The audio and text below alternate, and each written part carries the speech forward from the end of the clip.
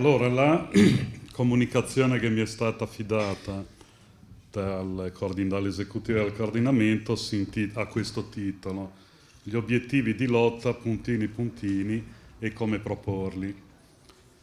Ora, io quando avevo visto il, il programma inviato nella mailing list del coordinamento nazionale di proposte ai compagni dell'esecutivo,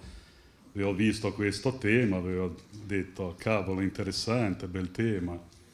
Andrò sicuramente ad ascoltare con grande interesse chi, diciamo, farà questa comunicazione, perché è sicuramente un tema seminariale, come dire, poi, i primi di agosto, è arrivata dalla, dai compagni dell'esecutivo, accanto ai titoli nominativi delle, a chi veniva affidata la comunicazione, ha visto il mio nome e ho visto che era stata assegnata a me, non so perché il compito di farla e ovviamente, boh, molto modestamente, aderisco a questa cosa, però non è che sia così semplice. Per di più in 15 minuti, come mi è stato detto, quindi io, ovvio che è un tema, gli obiettivi di lotta, puntini, puntine, come proporli, sì, potrei, dire, potevo, potrei, farlo in tre modi diversi il tema, eh? non è questa eh, in sé, dipende come si vuole sviluppare, io ho scelto una modalità, può essere che, che sia utile come no. Io ho scelto di proporre, quindi avendo solo 15 minuti, degli spunti, dei flash, soprattutto, anche perché poi il come proporre gli obiettivi di lotta è una questione anche pratica che va articolata, assunta e articolata nelle situazioni reali concrete dai circoli e poi dai compagni e le compagne, dai singoli e le singole militanti nelle situazioni reali concrete, nei posti di lavoro, nei territori, tra i giovani e le giovani che hanno linguaggi e modi di comunicare e forme del comunicare diversi, eccetera. Intanto eh, è divisa in due parti il titolo, gli obiettivi di lotta e poi come proporli. È chiaro che c'è un nesso, un ponte tra queste due cose, ma partiamo dagli obiettivi di lotta, cioè quali obiettivi dobbiamo darci e, co- e cosa occorre indicare. E in particolare riferito a un'organizzazione politica una corrente politica di classe che si vuole rivoluzionaria,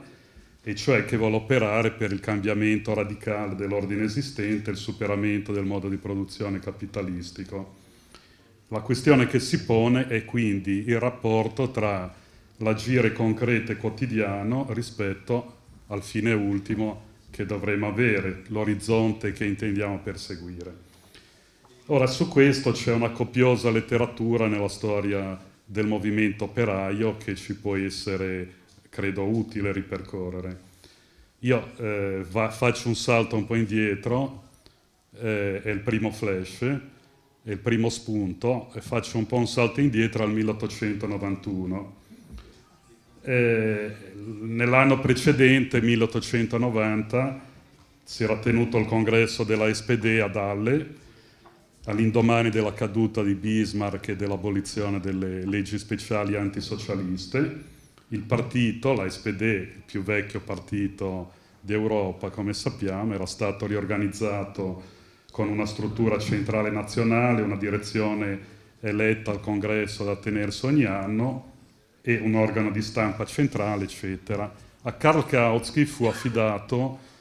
il compito di stendere un nuovo programma, chiamato poi appunto programma di Erfurt, rispetto al vecchio programma di Gotha che era del 1875, da cui Karl Marx si dissociò nella sua critica al programma di Gotha, che era un programma essenzialmente all'epoca eh, Lassalle, quindi lassalliano, un programma riformista con venature nazionalistiche e anche cooperativistiche. Nella stesura del programma di Erfurt, Kautsky, con, con Kautsky collaborarono altri due dirigenti, Edward Bernstein e eh, Auguste Bebel. Il programma venne suddiviso tra un programma massimo, cioè l'obiettivo finale del socialismo, e un programma minimo, eh, scritto da Bernstein peraltro, cioè le riforme su cui lottare da subito Ora, la dicotomia tra programma massimo e programma minimo divenne da allora la cifra della, dell'azione dei partiti della seconda internazionale, cioè la dicotomia tra appunto un programma minimo, le battaglie per l'immediato, e il programma massimo, la prospettiva del socialismo di cui prevalentemente si parlava nei giorni di festa. Non a caso la soluzione di questa dicotomia, di questa contraddizione, venne affrontata poi in maniera lucida da Bernstein qualche anno dopo, quando iniziò a scrivere alcuni articoli tra il 1897 e il 1898 sulla Neuzeit, la rivista teorica della SPD, e poi nel testo più organico presupposti del socialismo e i compiti della socialdemocrazia, in cui è contenuta la famosa frase per me il movimento è tutto e ciò che è comunemente chiamato obiettivo finale del socialismo è nulla. Rosa Luxemburg nel congresso di Stoccarda ribaltò questa, eh, questa famosa frase, questo motto di Bernstein, sostenendo che il movimento in quanto tale, se non tiene conto dell'obiettivo finale, non è nulla. Per noi l'obiettivo finale è tutto.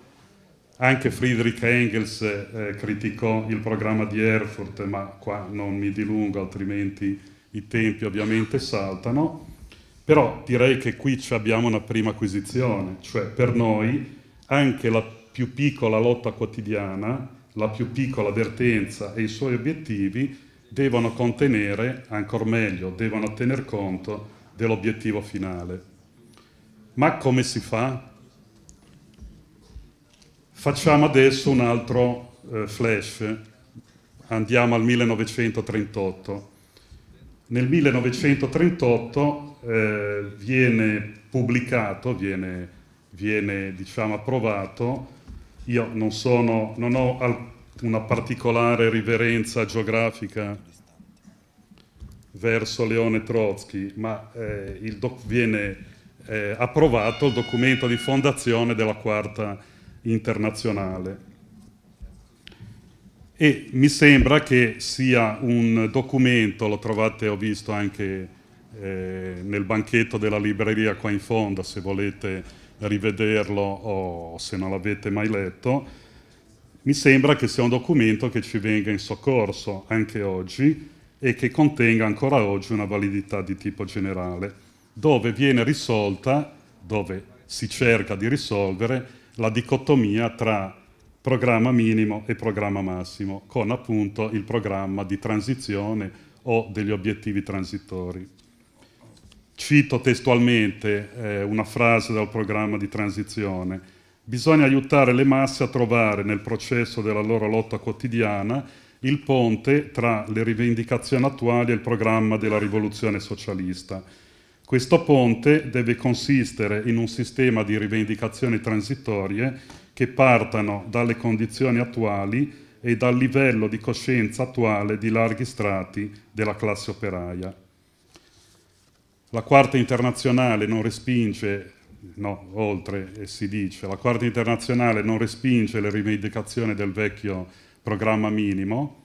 nella misura in cui conservino tuttora una qualche vitalità, difende instancabilmente i diritti democratici degli operai e le loro conquiste sociali, ma sviluppa questo lavoro di tutti i giorni nel quadro di una prospettiva corretta, reale, cioè rivoluzionaria. Nella misura in cui le rivendicazioni parziali minime degli operai si scontrano con le tendenze disgregative e distruttrici del capitalismo decadente e ciò avviene ogni istante, la Quarta Internazionale avanza un complesso di rivendicazioni transitorie, il cui senso è di essere dirette sempre più apertamente e decisamente contro le basi stesse del regime borghese. Ad esempio, nell'elen- nell'elencazione degli obiettivi transitori, il primo punto che viene indicato è la scala mobile dei salari contro il caro vita e la scala mobile delle ore di lavoro contro la disoccupazione. Mi soffermo su questo esempio per giungere fino ai problemi che abbiamo oggi. Ripeto quanto dice il programma di transizione su questo punto. Questo ponte tra programma minimo e massimo deve consistere in un sistema di rivendicazioni transitorie che partano dalle condizioni attuali e dal livello di coscienza attuale di larghi strati della classe lavoratrice. E qui cominciamo ad affrontare il ponte tra quali obiettivi e come proporli. Scala mobile, dicevo, rispetto a vent'anni fa, noi siamo oggi costretti a spiegare, vent'anni fa mettevamo scala mobile, tutti sapevano, vent'anni fa era appena stata abolita, ma diciamo, tutti sapevano di cosa si trattava, almeno nel nostro paese. Noi oggi siamo costretti invece a spiegare di cosa si tratta, in particolare, magari non alla platea che abbiamo qui davanti, che è composta soprattutto diciamo, di persone più, un po' più avanzate con l'età, ma sicuramente ai giovani di 18-20 anni, ma anche trentenni, eh, dobbiamo spiegare cos'è addirittura la scala mobile dei salari. Non è una cosa che viene conosciuta e si sa immediatamente di cosa si parla. Questo eh, ci dà la cifra, ci dà la misura dell'arretramento dei rapporti di forza tra le classi e degli attuali livelli di coscienza. Di questo ne ha già parlato Nando Simeone nella prima comunicazione e su questo ha scritto, già lo diceva lui, un piccolo saggio il nostro compagno Diego Giacchetti di Torino, dal titolo Il triangolo neoliberismo, postmodernità, fine della storia, a cui rinvio, anche questo lo trovate nel banchetto della libreria di Tori, dei compagni di Torino fuori, che mi sembra eh, diciamo, illuminante per ragionare sul eh, diciamo, eh, attuali livelli di coscienza di classe e il perché siamo a questo punto. En passant direi anche Olmo Dalcò pseudonimo del compagno di Roma, nel suo recente articolo su Euro non Euro, la, lo trovate questo sul sito, laddove fa riferimento alla distinzione che riprende da Gramsci tra buonsenso e senso comune. Naturalmente sulla scala mobile non sto sostenendo di togliere dagli, dagli obiettivi che occorre porre la scala mobile dei salari, anzi personalmente utilizzavo nei 10-12 minuti che ho a disposizione nelle relazioni eh, per il documento congressuale alternativo nelle assemblee congressuali di base a gennaio-febbraio era uno dei punti che diciamo toccavo la questione eh, ed era contenuto nel, negli obiettivi indicati nel documento congressuale alternativo del sindacato un'altra cosa. Ma il tema appunto è come proporre gli obiettivi che partano dalle condizioni attuali, dal livello di coscienza attuale di larghi strati della classe operaia. Quindi la questione, appunto, a che punto è oggi la coscienza di classe. Altro flash. Qui come spunto suggerirei, oltre alle cose che diceva Nanda all'inizio e i due articoli dei compagni già citati, eh, la lettura di alcuni scritti di un compagno che è morto recentemente, io ho conosciuto direttamente diciamo nella sua ultima parte, eh, nella sua tarda età, altri tra voi, in particolare i compagni di Torino, immagino l'abbiano conosciuto eh, anche precedentemente, parlo di Vittorio Riser, Giacchetti ne ha scritto tra l'altro sul nostro sito a maggio quando è morto. Ci sono due brevi articoli di Riser illuminanti, che qua riprendo solo come titoli per brevità, ma che eh, invito ad andarsi a vedere. Il primo è sulla coscienza di classe nell'attuale fase del capitalismo, l'altro riflessioni senili a ruota libera su crisi del capitalismo e crisi della sinistra. Riser poi è soprattutto eh, riconosciuto e ricordato anche per il suo impegno sul temi dell'inchiesta. Quando eh, aveva aderito alla rifondazione, ricordo, gli era stato affidato il settore inchiesta, tra l'altro con la redazione di un bollettino in cui campeggiava la frase di Mao Zedong, non voglio qui adesso aprire una discussione su Mao e il maoismo e la Cina, eccetera, utilizzo solo la frase di Mao Zedong che, era, che campeggiava diciamo, nel bollettino, che dice chi non ha fatto l'inchiesta non ha diritto di parola. Ecco, oltre al problema degli obiettivi e del come proporli, occorre che eh, ragionare e quindi avere la possibilità e la necessità dell'inchiesta. E quello credo che dobbiamo fare anche noi, per ragionare su quali obiettivi e come proporli. Nel programma di transizione verso l'ultimo, tra gli ultimi capitoli, verso la fine ci sono alcuni capitoli illuminanti, credo ancora oggi, contro l'opportunismo e il revisionismo senza principi, contro il settarismo,